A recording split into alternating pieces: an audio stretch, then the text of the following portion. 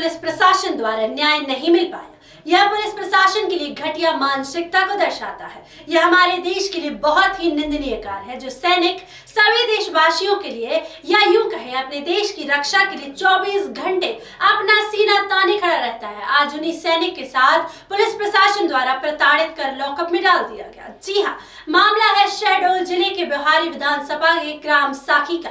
हम बात कर रहे हैं इंडियन आर्मी के अभिषेक द्विवेदी, पिता चंद्र प्रकाश द्विवेदी। इंडियन आर्मी जवान है, वर्तमान में RT centre Nashik road camps में पदस्थ है। उनके ना रहने पर उनके विपक्षियों के द्वारा उनकी ज़मीन पर कब्जा कर लिया गया और उनके माता पिता के साथ मारपीट व बदसलूकी की गई। जवान को सूचना मिलने पर वह जब घर आए तो बिहारी पुलिस थाने में जाकर एफआईआर लिखाने गए तो पुलिस प्रशासन और उनके विरोधियों के द्वारा थाने के अंदर उनके साथ मारपीट की गई और उनकी झूठी एफआईआर करके लॉकअप में बंद कर दिया गया, जो आप वीडियो में देख सकते हैं। एक देश के सैनिक के साथ पुलिस प्रशासन की घटिया मानसिकता को दर्शाता है। वहीं जब यहाँ कोई सुनवाई नहीं हुई तो कलेक्ट्रेट तक शिकायत करने के बावजूद भी दोषियों के ऊपर कोई कार्यवाही नहीं हुई। कुछ दिनों पश्चात फिर शिकायत करने बिहार बिहारी थाने में गए तो बिहारी के मिली भगत में उमरिया ज़िले के पुलिस आरक्षक सुधीर द्विवेदी थाना ताला मानपुर के द्वारा आकर तारीख 3 जुलाई 2020 को सभी स्टाफ एवं विरोधी मिलकर उनके साथ बदसलूकी और मारपीट करके उन्हें लॉकअप में बंद कर दिया गया। सभी भाइयों को जय हिंद। मैं अभिषेक द्विवेदी, डिस्ट्रिक्ट शहडोल, स्टेट मध्य प्रदेश। मैं इस बार छुट्टी गया था, तब मेरी छुट्टी जाने के कारण मेरे पारिवारिक रंजिश के कारण मुझे एंड मेरे परिवार को टारगेट बनाते हुए सूरज द्विवेदी विजेश द्विवेदी, कांस्टेबल सुधीर द्विवेदी धीरेन्द्र द्विवेदी आदि सब कोई मिलकर मेरे घर में मेरे पिताजी के नाम पे ज़मीन पर आकर कब्जा किए। मेरे पिताजी के लाख मना करने पर उन्होंने हमारे घर वालों के साथ मारपीट की तथा मैं वहाँ पर मौजूद नहीं था।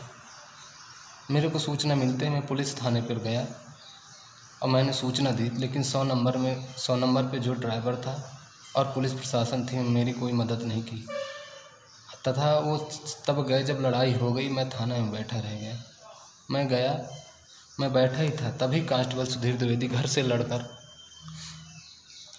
थाना में गया और सभी सिपाही मिलकर, नरेंद्र उपाध्याय दिनेश शुक्ला, सुधीर द्विवेदी आदि सभी कांस्टेबल मिलकर मुझे वहीं थप्पड़ मारे जिसका वीडियो मेरे पास है और मुझे जेल में डालकर मेरे खिलाफ़ झूठी एफ़ आई आर लिख दी और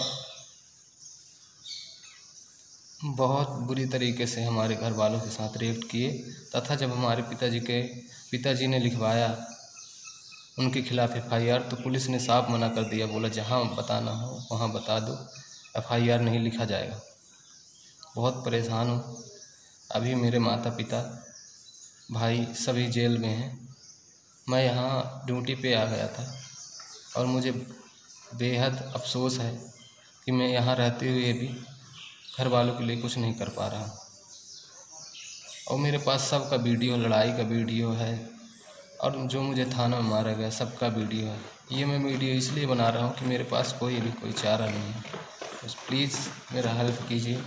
जय हिंद, जय भारत। मामला सामने आने के बाद देश के सैनिक के साथ माननीय मुख्यमंत्री शिवराज सिंह चौहान के द्वारा इन दोषियों के ऊपर कड़ी कार्यवाही की जाएगी या यूँ ही अपने आप सूचना देने के पश्चात टालम टोल करके मामला को ठंडा कर दिया जाएगा।